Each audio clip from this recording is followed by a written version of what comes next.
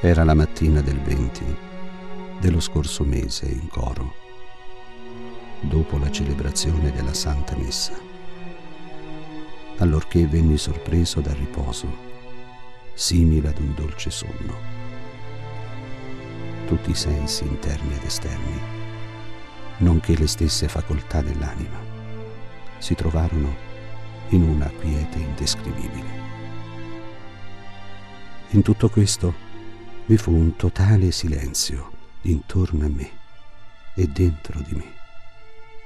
Vi subentrò subito una gran pace ed abbandono alla completa privazione del tutto e una posa nella stessa rovina.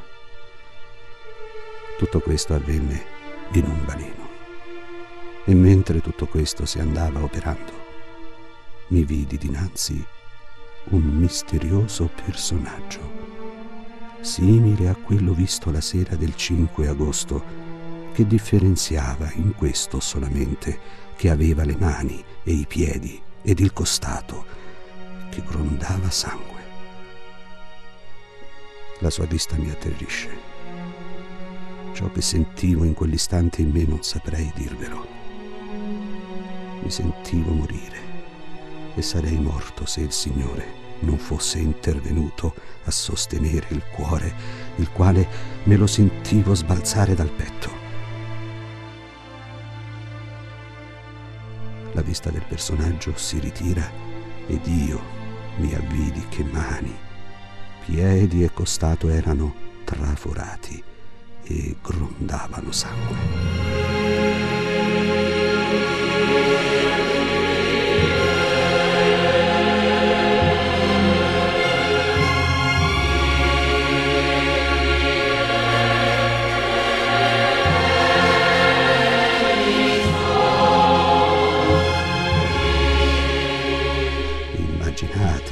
Strazio che sperimentai allora e che vado sperimentando continuamente quasi tutti i giorni.